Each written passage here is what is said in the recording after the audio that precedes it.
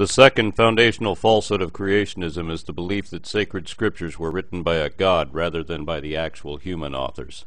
When believers argue over any of the many things which contradict their religion, they often challenge us to decide whom are we going to believe, the alleged word of God or that of men, as if human inquiry had no chance against the authority they imagine their doctrine to be. But when they say men, they're talking about science, and when they refer to the word of God, they're talking about the myths written about God by men. If there really is an intelligent and purposeful creator, then it would have to be he who constructed the fossil record revealing evolutionary history, and he has to be the one who conceived the genetic patterns which also trace that same course. And it must have been he who added all the other lines of evidence which point to the evolutionary conclusion exclusively and in brilliant detail. Why else would these things exist? It's as if he were trying to tell us something. Men couldn't create any of those things but men can tell stories, whoppers, in fact. And it was men who wrote all of the scriptures pretending to speak for God. Every one of the world's supposedly holy doctrines of any religion described themselves as being written by men, not gods. Men who were moved by or inspired by their favorite gods, or perhaps taking dictation from angels but they were written by lowly, imaginative, yet imperfect mortals nonetheless, not by angels, and certainly not by gods. If there really was one true God, it should be the singular composite of every religion's gods, an uber-galactic supergenius and the ultimate entity of the entire cosmos. If a being of that magnitude ever wrote a book, then there would only be one such document, one book of God. It would be dominant everywhere in the world with no predecessors or parallels or alternatives in any language, because mere human authors couldn't possibly compete with it.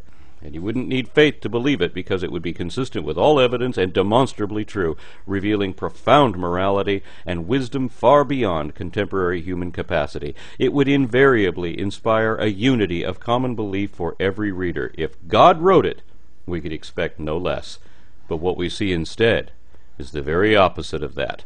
Instead of only one religion leading to one ultimate truth, we have many different religions with no common origin, all constantly sharding into ever more deeply divided denominations seeking conflicting truths, and each somehow claiming divine guidance despite their ongoing divergence in every direction.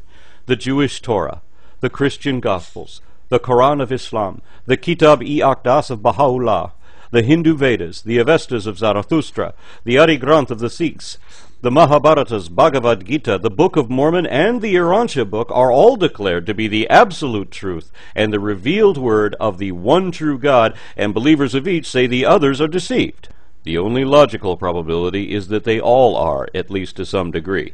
None of these have any particular advantage over the others, none of them have any evidentiary support, and none of them are historically verifiable. I'm Dr. Paul Maier, professor of ancient history at Western Michigan University. I'm not trying to say that now I have proven that the Bible is authoritative, is accurate historically. Of course not. You still have to have faith. All of them require faith and apologetics as well because they also contain inconsistencies, absurdities, and primitive notions once held true but which have since been disproved. So they can claim no evidence of divine wisdom. Many of them promote heinous atrocities in place of morality, and many claim to be validated by prophecies now fulfilled, where each may also contain prophecies which failed to come to pass as predicted. Leading theologians admit that all of the scriptures of any religion were written by human hands, and were thus subject to the interpretations, impressions, and perspectives of their primitive and often prejudiced and politically motivated authors, and they cite this as the explanation behind many of the contradictions in those books, especially those in the Bible. Well, I wouldn't call them contradictions as much as commentaries the one on the other. Uh, again, let's point out we probably do have uh, two different authors here whose work was blended together then in editorial uh, re, uh, revisioning somewhat. He's right about there being more than one author for Genesis, and it was definitely not an eyewitness account. Some experts now recognize four sources just for the Pentateuch, or the five books of Moses, and they don't credit Moses as the author of any of them, as he evidently never existed as described. The scholarly consensus is that Genesis was compiled probably by Ezra from several unrelated oral traditions less than 2,500 years ago. Other documents filtered in at the same time, all of which attributed to human authors. The Bible is nowhere near as old as believers say it is. The Dead Sea Scrolls are the oldest archaeological text known for the still unfinished basis of Western monotheism, yet they're each centuries younger than the origins of Zoroastrian, Buddhist, Hindu, Hellenist, Druidic, Chinese, and Egyptian religions. Christianity began with the Gnostic faith, and then the Docetics and Ebionites, and their completely different perspectives of Jesus were eventually combined into a kind of compromise called Orthodoxy. Other Christian subsets, like the Luciferians, were overrun and discredited by further biblical revisions. One of these revisions relates to the king of Ugarit around 3,500 years ago. As his followers were the principal competition with the emerging religion of Moses, scribes working on the New Testament chose to demonize Baal Zebul, the Lord on high, by distorting his name to Beelzebub, the Lord of the Flies. So the Bible has been deliberately and deceptively altered for both religious and political reasons. The rest of what became the New Testament was canonized in the fourth century in a series of committee decisions at the convention in Nicaea. Four Gospels were accepted, and sixteen more were rejected, all by a show of hands, as if the facts of the matter could be evaluated or dismissed by popular vote. The way the canon developed was by what was being read on Sunday in the centers of Christianity. What do you read on the second Sunday after Easter in the church in Jerusalem? What's the Church of Rome reading at this time? And they found that again and again, they were zeroing in on the same stories in the Gospels. And so the core of the canon kind of developed from the usage of the early church. So the council simply accepted as gospel whatever few relevant stories the uneducated masses happened to like at the time. But they still opted to remove more than a dozen books from the Bible, even though they were still referenced by other books they chose to include. Among the rejected items were the writings of both apostles and prophets. Why would God's word refer us to other books which were some human's word and or no longer available? Who were the real editors here? The Bible often names human authors, but how could it make such an admission if God were the real author and editor of this haphazard jumble of fables, parables, and psalm lyrics? The Bible was very definitely written by men, and not by superior men either, far from it. This is why so much of it can be shown to be historically and scientifically dead wrong about damn near everything back to front.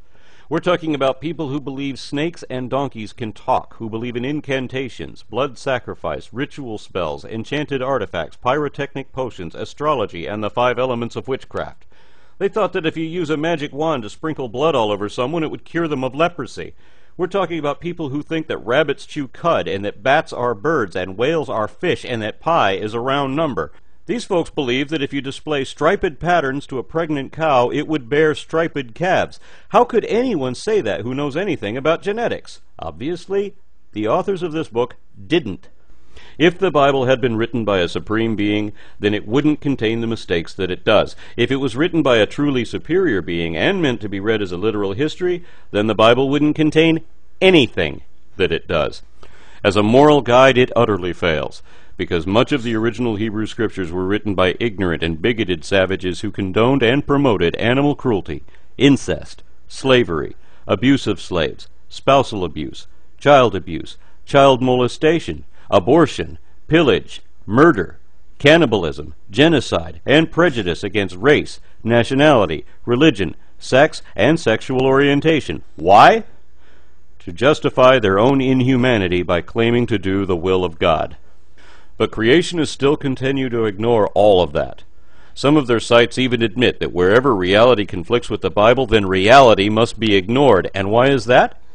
Because if creationists didn't have their beloved books, they wouldn't have a God either. One is the other in their world. Ironically, the faithful reject the works of God as worshiping creation over the Creator. But then they prop up the words of men before God as God, and even insist that disproving their supposedly holy books would somehow disprove God too. Not just their version of God, but everyone else's version of God as well. Creationist Christians think that if the Bible is wrong, then God lied. They cannot accept that God could exist, but the Bible be wrong because they can't distinguish doctrine from deity. So it is a form of idolatry, wherein believers worship man made compilations as though those books were God Himself, because they think it is His Word. But God never wrote or dictated any of the scriptures of any religion. Everything men chose to reject from or include in their supposedly inalterable word of whatever God was conceived, composed, compiled, translated, interpreted, edited, and often deliberately altered and enhanced by mere fallible men.